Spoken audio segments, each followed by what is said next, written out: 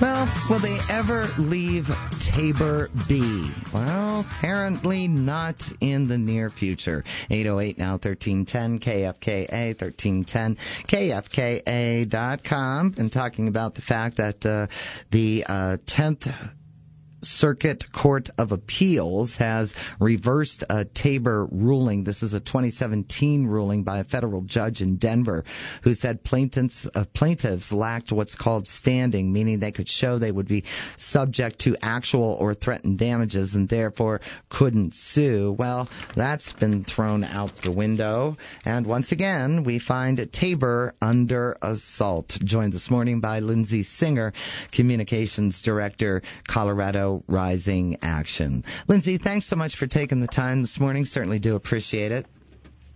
Yeah, good to be with you. And to answer your question, no, they will never leave Tabor alone. Why? I think I know the want... answer, but yeah. yeah. Well, the simple answer is because they want to raise taxes and spend more money as as lawmakers see fit, which is not necessarily how Coloradans want our tax pay, tax money to be spent. Absolutely. All right, so let's uh, work some of the things afoot when it comes to tapping away at Tabor. Let's talk about uh, the significance uh, of this 10th uh, Circuit ruling. Yeah, it's extremely disappointing um, when the courts don't defend Tabor. Um, by the way, Taxpayer Bill of Rights, I'm sure all your listeners know that, but just want to remind people that it is our um, is in it is one of our rights to um, control how much we get taxed here in Colorado. Mm-hmm. And the thing with the, the 10th District Court, um, you know, what's most disappointing is that our Attorney General Phil Weiser could be doing more. Um, he said he said when he was campaigning that he um, will defend the Constitution, which which is Tabor, but he could be, you know, asking for the entire 10th Circuit to reconsider. He could be challenging the case a little bit more, but he's not. He's pretty much just staying quiet on that. Um, which is really disappointing. Well, it seems like he's too busy finagling with what local control actually means when it comes to oil and gas, particularly in Weld County, but I digress. All right. Uh, what about, is it, it's uh, Prop CC? Yeah, so that's another attack on Tabor right now. It'll be on the ballot um, here this November 2019, um, which is interesting. Not a lot of people are going to be paying attention. It's not a huge election cycle, but um, Colorado Rising Action and our coalition partners were working really hard to help people understand Proposition CC. And what it means is that um, the, the Democrats and Jared Polis want to want us to say you can keep all of our all of our tax money, which there so the ballot language is just the real problem. It mm-hmm. says it begins without raising taxes, but that's not true. If the government is keeping more of our tax money that we would get to spend, that's a tax increase. Otherwise, we would get that money back as a refund. So for them to start that language, it's a, a, big reason why we're working so hard against Proposition CC is because when people open their ballots, they'll see without raising taxes at the very beginning of that.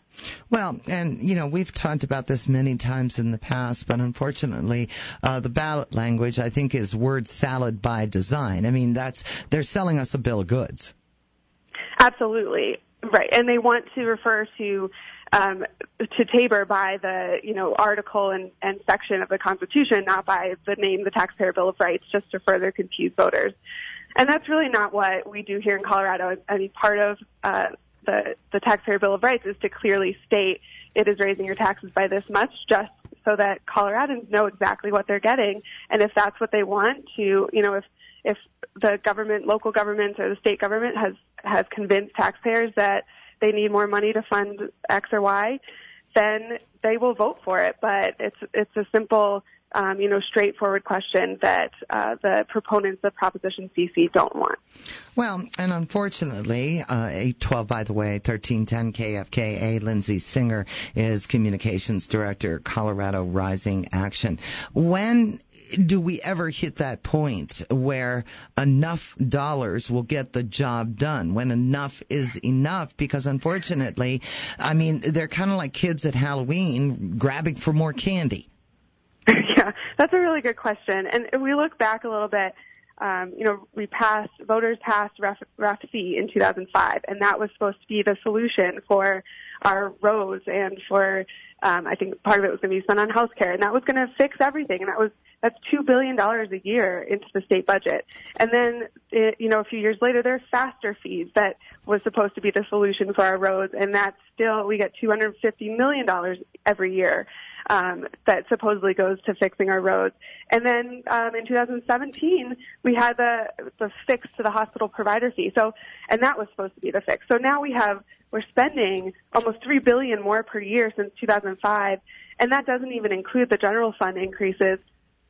And we're we still, you know, some the the Democrats are still trying to make this sound like it's uh it's woefully underfunded and it's an emergency um, to get more funding. And it's really, it's not a question of if the money is there. It's a question of when will the legislature prioritize spending right. the state budget on our roads. Because it seems like the money just goes up in smoke, and uh, they're just saying we need more to get the job done. Now, your colleague at Colorado Rising Action Executive Director Michael Fields wrote a great piece on Complete Colorado, which is still up, by the way. You can find it on Complete Colorado page two. Just go to CompleteColorado.com, uh, referencing the fact that a portion of Highway 36 collapsed uh, just uh, earlier in July, shutting down a main connection between Boulder and Denver. Now, the road was only built a couple of years ago through a public-private partnership. Estimated costs to fix it is 20 million bucks. Now, how does CDOT factor into the equation? Yeah, good question. And it's a mess. I drove on that road this weekend, and it's it's a, it's a disaster there. And I think they finally are saying the the mud has settled enough now that we can start our repairs, which it's just crazy. But the point that um, that Michael was making in his op-ed is that the legislature has direct in, in oversight over CDOT, um, and so it's and it's really important for the legislature to make sure that CDOT is accountable and implements some of these recommendations that were a really disappointing audit. Um, so going forward, I mean, CDOT's performance audit, they they spent their money, they overspent their budget, and they aren't tracking um, how 1.3 billion dollars. They didn't track track how that was spent. Yeah. Um, you know, they at the end of the day work for the people, and the legislature needs to hold them accountable. So, and this is at the same time. Michael made this point as well that uh, CDOT was building new office space that costed 150 million dollars. Wow. Um, which just shows, you know, people Coloradans aren't going to agree to a, a new tax increase when they see stuff like that happening. And I don't understand. I don't understand how um, some of the people in the legislature or some of the, the liberal lawmakers don't understand that, and they just think mm. that, oh yeah, if we if things get bad enough, they'll see that they need to, you know, Coloradans will see they need to pay more taxes. So here's the question. Are they still floating the idea of that uh, special legislative session to make changes to something they just approved only a few months ago? I've heard, I haven't, I think the rumors on that have sort of died down. I don't think that's going to happen. And I, I think that's a huge testament to um, conservatives across Colorado really coming together and talking to Republican legislators, making sure that there were no Republican legislatures on the side of this very bad deal that Governor Polis wanted to make.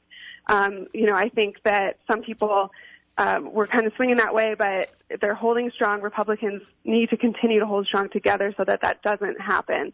Because any any um, you know deal that Governor Polis would make to bring the legislators back into session won't be good for taxpayers.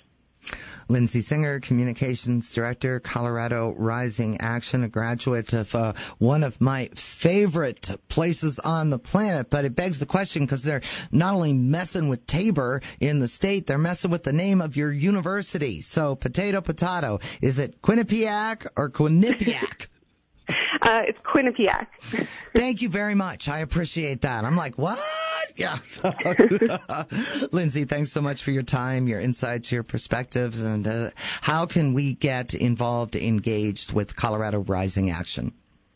Yeah, you can go to coloradorisingaction.org and sign up for our emails. We're also on Facebook and Twitter. And thanks for having me on. You bet. Keep up the good fight. Lindsey Singer, Communications Director, Colorado Rising Action.